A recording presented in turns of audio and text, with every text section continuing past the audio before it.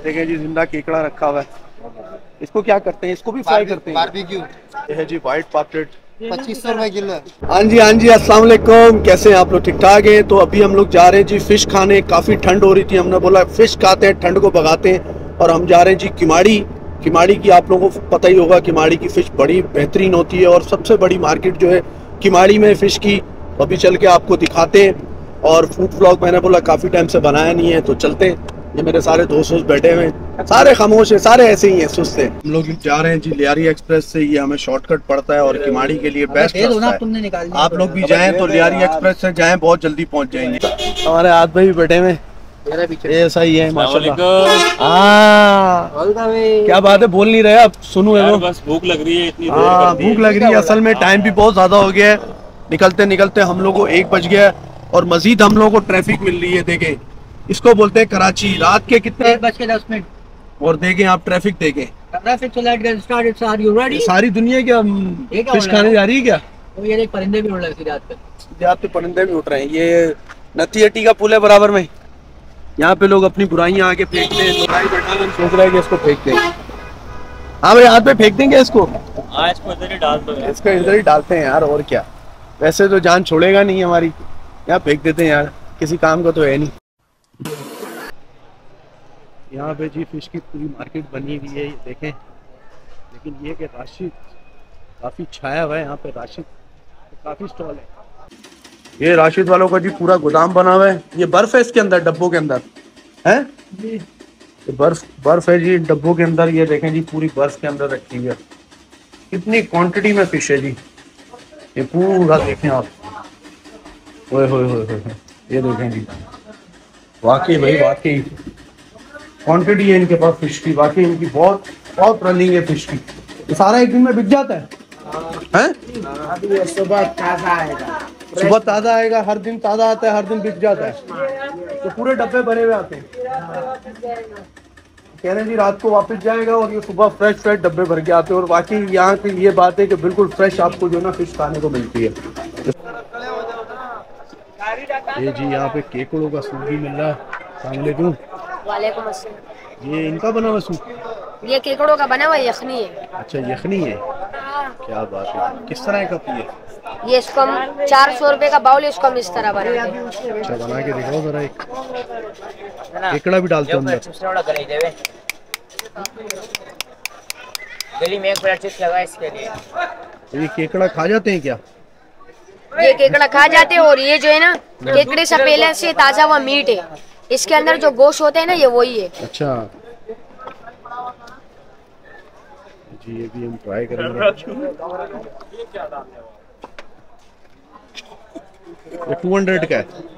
Four hundred four hundred का। अगर आप लोगों को ओरिजिनल केकड़ों का सूप पीना है सर्दियों में बहुत फ़ायदेमंद होता है तो यहाँ से आप सूप भी आके पी सकते हैं। ये राशिद सी राशिद के पास ही किसी और के पास नहीं क्या? राशिद के पास है और ये सामने के माड़ी वाले के एक दो के पास ही केकड़ों का सूप हर किसी के पास मिलता है। यहाँ पे जी मीठा भी मिल रहा है सर्दी की वजह से। रसगुल्ले गुलाब जामुन। और ये हलवा देसी घी का क्या? हुआ देसी घी का। क्या बात है भाई देसी घी का हलवा रखा हुआ भाई ने। किस तरह ये? गुलाब जामुन सौ के तीन पीस हलवा प्याला दो सौ का ये जी हीरा फ़िश। और कौन सी दिखाना जरा निकाल के? मुश्का फ़िश। उसका फ़िश। साथ साथ प्राइस भी बताओ। ब्लैक पापलेट ब्लैक पाव इसके क्या किलो है? ये अठारह सौ रुपए किलो मेकिंग साथ है। अच्छा ये वो तो ज़ाहिर सी बात है ये भी- साथ ही होगी ना यार। ये भी अठारह सौ रुपए किलो हीरा है। ये जी व्हाइट पापलेट पच्चीस सौ रुपए किलो है। पच्चीस सौ रुपए किलो। भाई ये कौन सी है? ये खोल दे? कौन ये क्या किलो है? हज़ार रुपए किलो। ये पकड़ लो। और ये? ये बारह सौ रुपए किलो। ये कौन सी है? दंदिया ये देखें जी। काटता तो नहीं है? नहीं नहीं।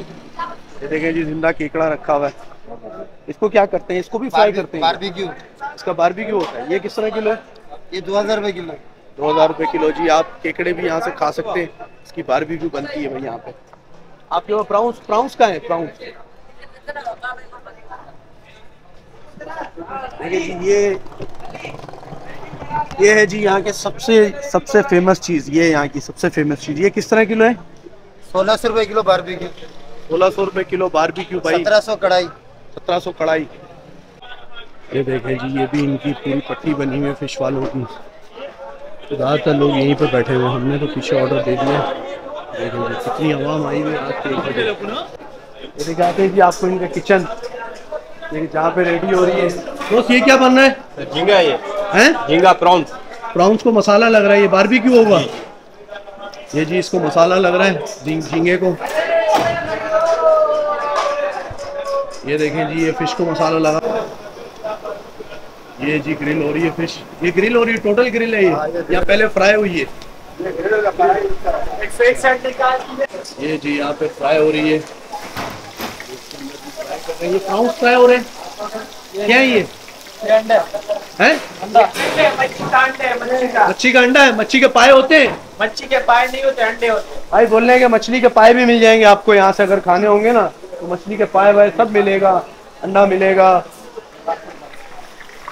बाकी ये क्या है यार? बताओ ना यार, मज़ाक के अलावा। क्या है ये? ये मच्छी की कलीजी है। मच्छी की कलेजी अरे यार लोग भी तफरियाँ कर रहे हो भाई ये नहीं ये तफरियाँ कर रहे ये मच्छी की हो मछली की कलेजी है। कलेजी होती है क्या मछली के अंदर? जन्नत का पहले खुराक ही मच्छी का कलीजी है। अच्छा। ये भाई ने तो भाई पॉइंट की बात बता दी। जन्नत में जाते ही सबसे पहले जो है ना मछली की कलेजी मिलेगी। इतना टेस्ट होता है और इतनी ताकतवर होती है ये। ये कहने का मकसद है आपका कि हमने तो पता नहीं जन्नत में जाना नहीं जाना यहीं से कलेजी वलेजी खाते। हाँ ये इसकी कढ़ाई बन रही है। आज की कढ़ाई है। जी जी हाँ। यहाँ पे जी चपाती और कुछ है सारी। कितनी क्वांटिटी में इनकी जो है सेल हो रही है, जो कि इतनी क्वांटिटी में जो है ना चपातियाँ बना रहे हैं। अब एक दो आपको और दिखा देते हैं स्टॉल न्याजी फ़िश बारबी की अलैक्म कैसे हैं आप? ठीक ठाक हैं? ये जी इनके पास भी काफ़ी क्वांटिटी में प्राउंस पड़े हुए हैं। दोस्त ये किस तरह प्राउंस सर बारबेक्यू चौदह सौ है कढ़ाई सोलह सौ रुपए। अच्छा तो आपके प्राइस कम है उनसे? जी जी हर किसी के अपने रेट है इस मार्केट हाँ, और ये कौन सी मछली है? काफ़ी में बड़ी सी व्हाइट रही है। कुंद है व्हाइट कुंद व्हाइट कुन ये ब्लैक कुंद है। ये ब्लैक कुंड है। जी इसके क्या प्राइस है? ये व्हाइट कुंद आपको पकाने के साथ हम देते हैं सोलह सौ रुपए सर। सोलह सौ रुपए किलो? जी। और ये वाली? ये वाली? ये ब्लैक कुंद है ये हज़ार रूपए। ये हज़ार रूपए की। तो अभी मैं, अभी मैंने आपको राशिद के भी दिखाए रेट और इनके भी दिखाए, इनके प्राइस थोड़े कम लग रहे हैं मुझे। उनके ज़्यादा हैं, चलो हम तो खैर वहीं से खा रहे हैं। अभी ये देखें जी। लेकिन यहाँ पे एक बात है कि राशिद की शॉप्स काफ़ी है, राशिद छाया हुआ है। ये न्याजी फ़िश में काफ़ी रश लगा हुआ है, देखिए काफ़ी दुनिया बैठी हुई है यहाँ पे। ये काफ़ी क्वांटिटी में प्राउंस उन्होंने बनाए हैं। देखें जी। हाय हाय हाय, भाई, मुझे, मेरा तो देख के मुँह में पानी आ गया है। काफ़ी कुछ दिखा दिया अब हमारा ऑर्डर आ गया होगा चल के खाते हैं काफ़ी भूख लग रही है। लड़का लगा जी कुछ भाई बैठे हुए हैं इन्होंने मुझे देख के बोला भाई हमें भी ब्लॉग के अंदर लो हम लोग काफ़ी दूर से आए हुए कहाँ से आए हो आप लोग? ये मुल्तान से मुल्तान अच्छा मुल्तान से आए हैं आप लोग खाली फ़िश खाने? फ़िश खाने खाल। नहीं करें यार। अरे क्या बात है। अच्छा कराची की फ़िश का मुकाबला है किसी दूसरे सिटी के साथ? हाँ। लेकिन ये यहाँ की सात सौ रुपए राशि नहीं नहीं ये बात तो मैं भी कहूँगा कि भाई कराची जैसी फ़िश जो है ना वो कहीं नहीं है। ये हमारा ऑर्डर आ गया जी। प्राउंस कढ़ाई और कौन सी फ़िश है ये? मुश्का। मुश्का। बाकी अभी आ रहा है भूख बहुत लग रही है कंट्रोल नहीं हो रहा। शुरू करो। जी ट्राई करते हैं जी कैसी है? पहले प्राउंस कढ़ाई। हम्म। मज़ा है। आज भाई कैसी है? कौन सी? ये नेक्स्ट का कंपनी फिजअप फिजअप फिजअप वाह क्या बात है भाई ये देख के बड़ी खुशी हुई कि हमारे पाकिस्तानी ब्रांड है। पाकिस्तान ब्रांड की भी जो है कोल्ड ड्रिंक आ रही है और ये बड़ा अच्छा लगा यार बड़ी अच्छी चीज़ है ये। सबको चाहिए यही रख लें हम। ये ज़रा मैंने अपने लिए मंगवाया स्पेशल बारबेक्यू प्राउंस बहुत ज़्यादा स्पाइसी थी बहुत मज़ा आया खा के और मैं यही बोलूँगा कि जो जो कराची का अभी तक नहीं आया उसको सजेस्ट करूँगा कि लाजमी एक दफ़ा आकर खाएँ। और आप लोग भी बताएँ जो जो खा चुके हैं कि आप लोगों को कैसी लगी राशिद फ़ूड सी फ़ूड बताइए कमेंट करके। और ये है जी मज़ा आया? टाइट हो गया फुल सेट हो गए? हाँ। और हमारे हसनैन भाई को फुल पसीना आ रहा है मछली खा के। क्या हो गया भाई? गरम। फुल गरम? बोला हसनैन भाई गरम हो गया भाई खा के। चढ़ गई है चढ़ गई है फ़िश समझ रहे हो? चाय भी पीते हैं क्या? अरे मछली के बाद चाय थोड़ी पीते हैं। मैं तो पीता हूँ। तुम पीते हो? तुम तो वैसे ही गोरे हो तुम्हें मसला थोड़ी है। हम पियेंगे तो अच्छा आप लोग बताएँ कि फ़िश के बाद चाय पीनी चाहिए या नहीं पीनी चाहिए? कोई नुकसान होता है इसका नहीं होता। अब आवाम आवाम बताएगी कि बाकी चाय फ़िश के बाद चाय पीनी चाहिए नहीं?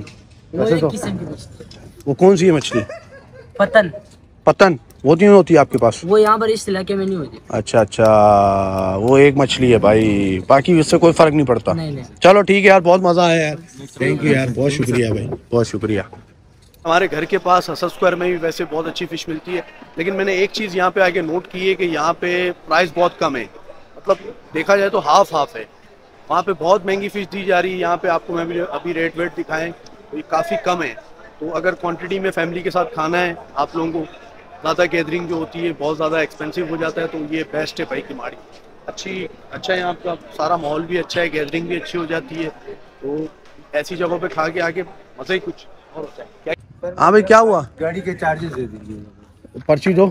तो बस नहीं होती हमारी गाड़ी की ज़िम्मेदारी है? पूरी साइड लाख बैटरी और किसकी हमारी ज़िम्मेदारी है? अच्छा पर्ची वर्ची कोई नहीं है। कौन सा डिपार्टमेंट ने आपको यहाँ खड़ा किया? कोई चीज़ गायब हो जाए तो बड़े भाई उसको हम आपको पेमेंट आपको किस डिपार्टमेंट ने यहाँ खड़ा किया बड़े भाई डिपार्टमेंट ने नहीं खड़ा करे तमाम सी फ़ूड के देखें। जी यहाँ पे इनकी बदमाशी चल रही है। ई गाड़ी से हालाँकि जगह जो है गवर्नमेंट की है। लेकिन ये सौ रुपये यहाँ पे चार्ज कर रहे हैं। और मैंने इनसे पूछा है ये कह रहे हैं जी बस यहाँ की चौकीदारी है। ये हमारे दोस्त जो है चौदह सौ निन्यानवे का पेट्रोल डलवा रहे हैं। पता नहीं क्या लॉजिक है भाई क्या लॉजिक है ये? ये देखो शर्मा रही है असलन तू बताइए क्या लॉजिक है? इसमें जो है करप्शन नहीं होती है। करप्शन नहीं होती। यार ये सारी फजूल बातें बोलने की यार। आप लोग बताएँ आप लोगों में से भी कोई ऐसे करता है? अगर करता है तो कमेंट में बताइएगा। फ़ायदा है या नहीं है इसका?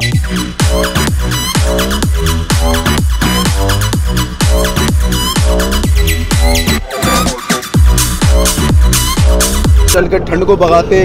देख ले कुछ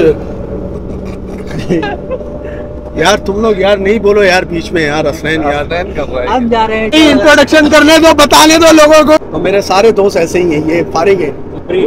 छपरी। है कोई भी इनमें से बोलता बोलता नहीं सारे शर्माते। हैं तो चलते हैं जी। किमाड़ी